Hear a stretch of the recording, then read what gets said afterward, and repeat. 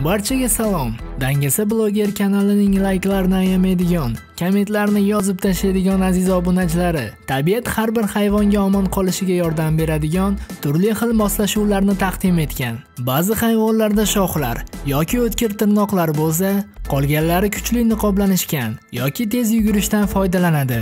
Lekin ba'zi hayvonlar o'z tanasining qurboniga aylanadi. Bugun biz sizlarga aynan shunday hayvonlar haqida aytib beramiz.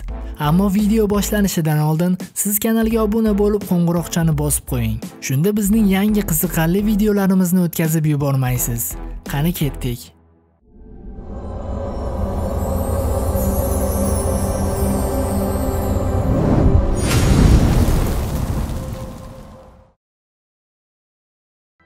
Indoneziyadagi Slavezuya orolida juda g'ayrioddiy hayvon yashaydi. Mahalliy aholi ularni babirussa deb ataydi. Ularning nega bunday nom olganini tushunish qiyin emas. Tashqi tarafdan ular oddiy cho'chqalarga o'xshaydi, ammo ularda shoxlari ham bor. Ularning shoxlari boshqa hayvonlarning shoxi kabi foydali emas. Aksincha bu shoxlari unga faqat muammo tug'diradi.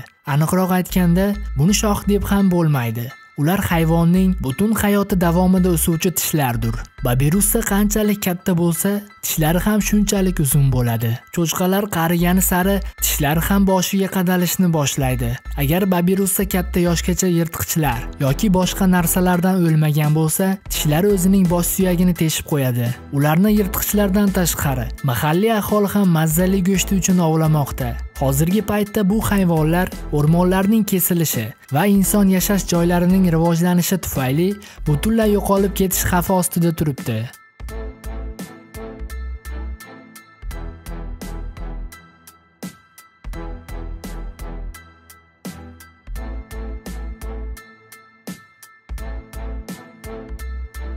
Toshbaqaning eng ishonchli himoyasi bu uning kosasidir. U shunchalik mustahkamki, hech bir hayvon uni chindan sindira olmaydi. Toshbaqalar kosasiz umuman yashay olmaydi. Ammo ma'lum bo'lishicha, ba'zida kosa ham ushbu sudralib yuruvchi hayvonning o'limiga sababi bo'lishi mumkin. Agar toshbaqa tasodifdan ag'darilib ketsa, u o'z-o'zini turgiza olmaydi. Agar odamlar yoki boshqa hayvonlar unga yordam bermasa, u shunchaki ochlikdan halok bo'ladi. Toshbaqaning kosasi qanchalik yumaloq va kichik bo'lsa, uning shunchalik o'z-o'zini turgiza olish imkoniyati oshadi. Agar qiyin ahvolga tushib qolgan katta toshbaqaning oldiga yana bir turdosh kelib qolsa, albatta uning turishiga yordam beradi.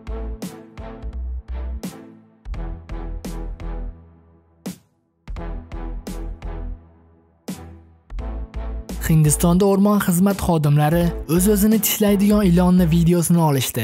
Ma'lum bo'lishicha ilonlar ba'zida o'z tanasini o'lja deb hisoblab, unga hujum qiladi va o'z-o'zini halok qiladi.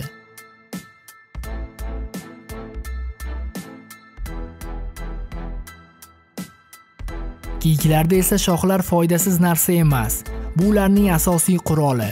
Ular shoxlari orqali yirtqichlardan himoyalanishadi. Lekin ko'pincha ular bir-biri bilan kurashayotganda kurashishadi. Shuning uchun kiyiklar boshqa bir kiyikning shoxlari tufayli halok bo'lishadi. Shimol kiyiklari bu tabiatdagi yagona turdir. Ularning janglarida faqat erkaklar emas, balki ayol kiyiklar ham ishtirok etadi. Odatda katta shoxlar faqat erkak kiyiklarda uchraydi. Ular har yili bir marta shox tashlaydi va juftlashish mavsumigacha yana shoxdor bo'lishadi. Kiyikning shoxi qanchalik katta bo'lsa, jangda uning yutish imkoniyati shunchalik katta bo'ladi. Ushbu davrda kiyiklar juda xavfli va tajovuzkor bo'ladi. Ayol kiyik bilan ketayotgan janglar ulardan birining o'limi yoki jiddiy jarohatlanishi bilan tugaydi. Ammo qolgan vaqtlarda ular tinch va muloyim hayvonlardir.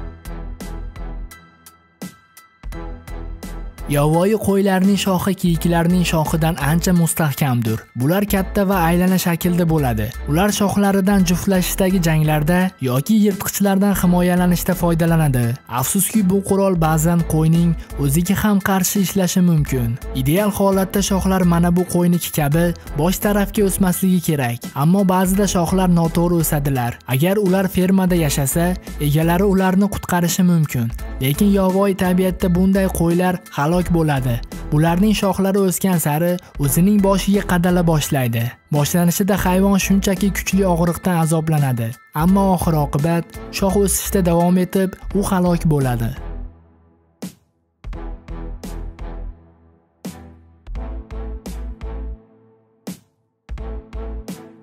Sigirlar sut bersa, tovuqlar tuxum beradi. Qo'ylar esa jun uchun boqiladi. Mana bu qo'ylar eng ko'p jun beruvchi turidir. Agar ular o'z vaqtida olinmasa, ular qo'yni ulkan jun toqqa aylantiradi. Jun shunchalik o'sadiki, hatto uning boshi ko'rinmay qoladi. Albatta bunday holatda birorta ham qo'y uzoq vaqt yashamaydi. Buning natijasida ular haddan tashqari qizib ketadi. Ular sekin yurib deyarli hech narsani ko'rmay qoladi. Bundan tashqari qalin jun orasida har xil parazitlar ko'payib, chidab bo'lmas qichishishni keltirib chiqaradi. Shunda qo'ylar daraxtlarga o'zini ishqalay boshlaydi, ammo u bularga foyda bermaydi. Ular shunchaki tanasini qon qilishadi. Shuning uchun qo'ylarga odamlarning ko'magi juda ham muhimdir.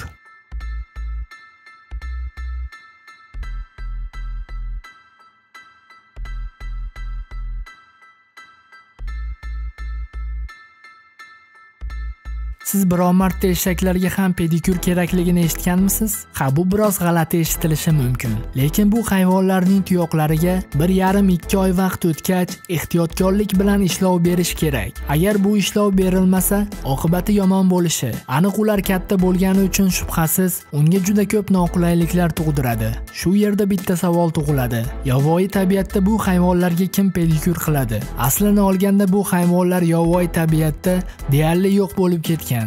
Hozirgi vaqtda ular faqat insonlar qarmog'ida yashamoqda. Aslida bu pedikyur jarayoni tuyoqni kesish deb ataladi va uni tajribali odamlargina amalga oshirishadi.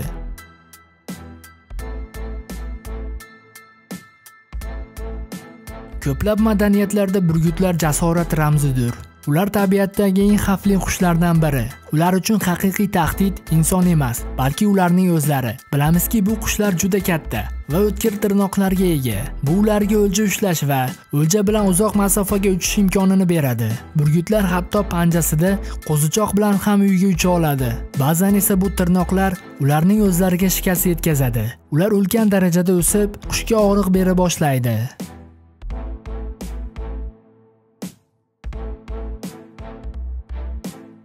Asalari eng foydali hasharot hisoblanadi. Ular asal va mum tayyorlashdan tashqari o'simliklarni ham changlantiradi.